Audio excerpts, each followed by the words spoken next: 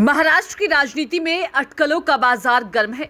राज्य के उप मुख्यमंत्री देवेंद्र फडणवीस को दिल्ली में बड़ी ज़िम्मेदारी मिलने वाली है।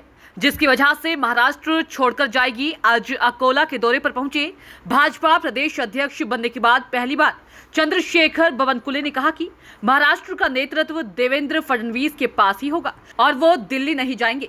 अकोला में राष्ट्रवादी पार्टी को उस वक्त बड़ा झटका लगा, जब पूर्व आमदार बलिराम सिरस्कार ने अपने सैकड़ों कार्यकर्ताओं के साथ चंद्रशेखर बवनकुले के हाथों भाजपा में प्रवेश किया। बालापुर मतदार संघ के लिए भाजपा की राह आसान नज़र आ रही है।